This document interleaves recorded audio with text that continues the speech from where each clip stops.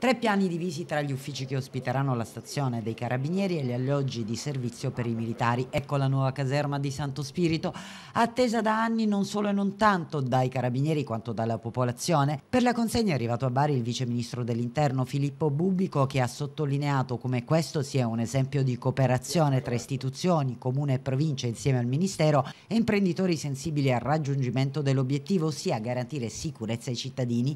Il trasferimento vero e proprio dei militari Bari dovrebbe avvenire nelle prossime settimane. Prima di arrivare a Santo Spirito, il vice ministro si è fermato nel centro di accoglienza per richiedenti asilo di Bari. Cara di Bari eh, viene considerato dal nostro ministero come una realtà di riferimento, come una realtà di eccellenza. Esiste un problema di natura logistica che stiamo affrontando. Io spero che si possano superare eh, gli ostacoli che ancora permangono tanto da eh, realizzare un nuovo insediamento capace di migliorare ancora di più gli standard di qualità. Lo spostamento del Cara dall'aeroporto militare per allungare la pista di atterraggio appare come ipotesi sempre più concreta. Sulla nuova collocazione Bubico non si è sbilanciato, ma il progetto a cui si lavora è quello di un'area vicina al CIE nel quartiere San Paolo.